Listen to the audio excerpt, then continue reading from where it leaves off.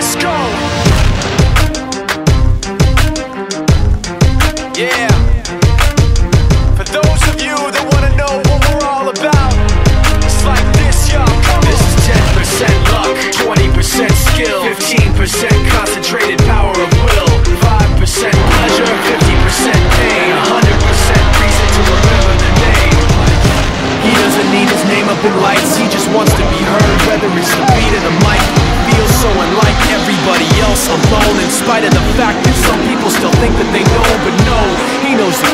It's not about the salary, it's all about reality and making some noise, making a story, making sure his click stays up. That means when he puts it down, Tak's picking it up. Let's go. Who the is he anyway? He never really talks much, never concerned status, but still even him starstruck. Humble through opportunities given despite the fact that many misjudge him cause it makes a difference from writing raps. Fully together himself, got a picture connects, never asking for someone's help to get some respect. He's only focused on what he wrote, his